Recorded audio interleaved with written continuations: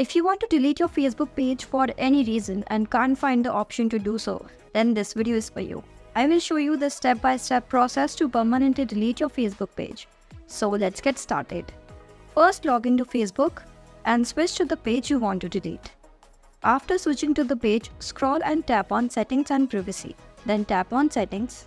Next, scroll and tap on the Access and Control option under Your Information. Now you will see the deactivation and deletion option. Just tap on it. Tap on the Delete page and then tap on Continue. Select your reason for deleting the page and then hit Continue. On the next screen, you can download the data associated with the Facebook page or transfer that data to a different Facebook profile. Then tap on Continue, enter your Facebook password here and tap on Continue again. In case you forgot your password, there is an easy way to find it. Watch this video to know how you can find your Facebook password. After that, your Facebook page will be permanently deleted after 30 days.